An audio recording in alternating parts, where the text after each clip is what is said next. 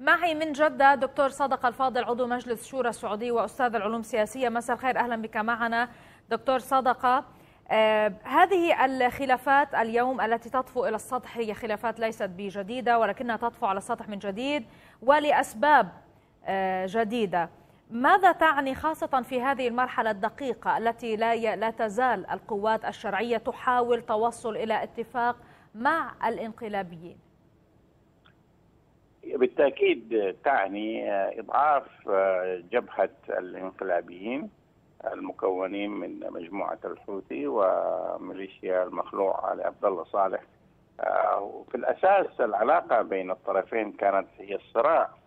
ولكن للأحداث الأخيرة التي حصلت خاصة في بدءا من سنة 2011 بدأ هذا التحالف المشبوه بين الطرفين.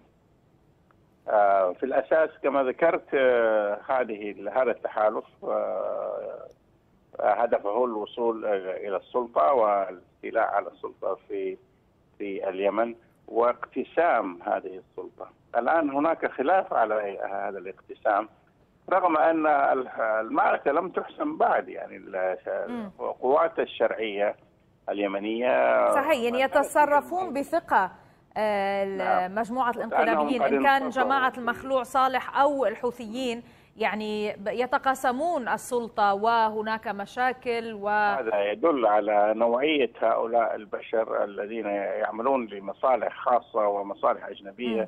ويسيئون إلى المصلحة العامة لبلادهم ولأمتهم. نعم. كيف يمكن أن ينعكس هذا الخلاف؟ دكتور صدقة الذي قلنا بأنه ليس بجديد على مجريات الأحداث على الأرض ولصالح القوات الشرعية.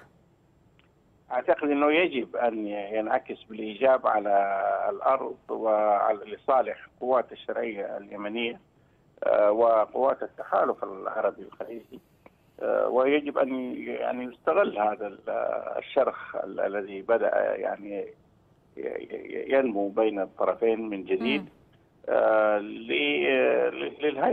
لاستعاده الشرعية اليمنية والدخول إلى صنعاء. هل ممكن أن يوجه هذا الموضوع أو أن يحاول أحد الطرفين توجيه صفعة للآخر من خلال التقرب أكثر من قوات الشرعية والمضي قدما أكثر في توقيع اتفاق سياسي؟ لا أتصور لأنه. يعني القوات الشرعية أو الشرعية اليمنية لها شروط وهذه نعم. الشروط والمتطلبات تتمشى وتتماهى مع قرار الأمم المتحدة رقم 2216 الذي ترفضه قوات الانقلابيين ومنهم علي عبد الله صالح والحوثيين أيضا فتصور أنه يعني هذا سيدخل اليمن في نفق أكثر ظلاما لكن هذا في الوقت الذي سيضعف فيه جبهة الإنقلابيين فإنه قد يدخل اليمن في متاهات جديدة في الواقع. أنا أشكرك جزيلا دكتور صدق الفاضل عضو مجلس شورى السعودي وأستاذ علوم سياسية على هذه المشاركة من جده.